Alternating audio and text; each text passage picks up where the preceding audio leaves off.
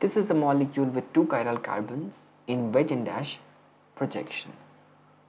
You can view this molecule from this side and uh, then your front carbon will be here and back carbon will be here. So you can draw the Newman projection now. The front carbon is shown by a dot and the back carbon is shown by a circle and then at the front carbon you have this A, C and D, A at the top, C at the right and D at the left. And then you can also draw these B, E and F. So you see B is right behind A, like this. F is right behind C and uh, E is right behind D. Okay. Then from here we can rotate the CC bond. We can rotate uh, either the back carbon or the front carbon. So let's rotate the back carbon which is shown by the circle. Let's rotate the bond such that we are holding this. We are holding the front carbon and rotating the back carbon by 60 degrees.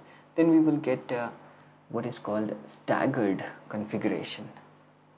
So conformation to be more exact, staggered conformation.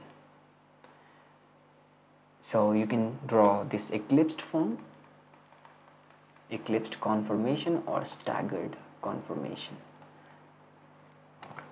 You should notice how one uses the word conformation and configuration and projection. So what are projections? Wedge and dash is a kind of projection, Newman is a kind of projection, and then Fischer projection you have and then you also have sawhorse projection. These are the ways in which we can draw the molecule. Then what is configuration? The configuration is a, property of the chiral carbon. It could be in R or S. And what is conformation? A conformation is uh, the uh, the different kind of molecules which you get when you rotate the single bonds. So this eclipsed and staggered, these are two conformations. okay let's now move uh, we can also see that this uh, wedge and dash is drawn in eclipsed conformation you can see that the groups are right behind each other. So this is a wedge and dash in eclipsed. And yes you can see conformation in wedge and dash also. So this is eclipsed. You can rotate uh, by 60 degrees the back carbon this carbon in such a way that the, the F will come here.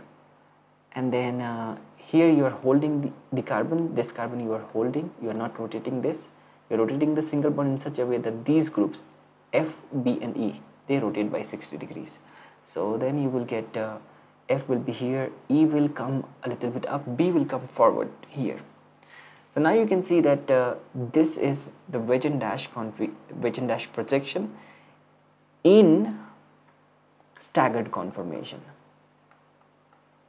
So you can see like in the direction like from here if you go in front of A there is nothing. So similarly in front of C there is nothing. In front of D there is nothing. You can feel it. So we, from here we can rotate 60 degree again. Let's this time let's rotate this carbon. So we will get 60 degree in such a way that A comes in front. C will be in the plane now and D will go back like this. So now we get this. From here we can uh, go into Fischer projection. So I like to be in the eclipsed form